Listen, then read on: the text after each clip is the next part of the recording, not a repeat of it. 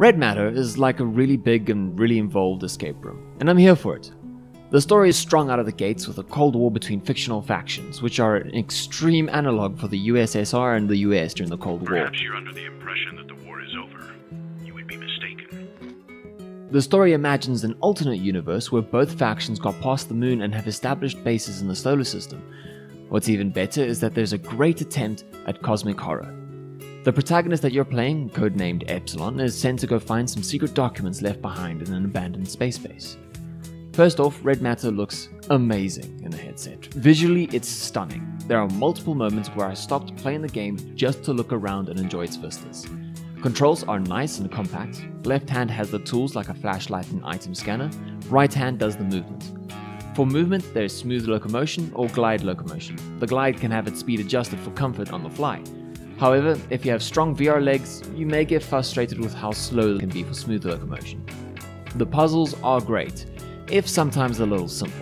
As I mentioned earlier, the game feels a little bit like a big escape room, and these puzzles are the kind that I would expect to see in a high budget escape room. They are still really enjoyable, however.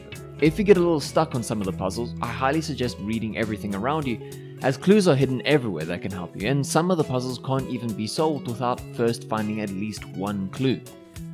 The voice acting for this game is not great. While the writing is done really well and the story is awesome, the voice acting doesn't match up to the same quality of the story. What was that? The power seems to have been cut, Damn Agent. Somebody tell me what's going on. I've lost the subject. We need that information no matter the cost. The cosmic horror of the sections of the game are interesting. At first, they genuinely creeped me out, and scanning certain objects was a terrifying prospect. However, midway through the game, the horror becomes a plot device and immediately loses all its horror aspect. I started greeting my cosmic horror companion as a friend later on in the game. This, however, does lead to the story's ending, which, to put bluntly, is not great. A few of the plot holes in the story can be easily dismissed, but the ending really doesn't do this game justice. Up until this point, Red Matter had been very strong in terms of its gameplay and story. However, the finale isn't a puzzle, and the story falls flat right at the finish line. With all this in mind, I'd still say you should give this game a go.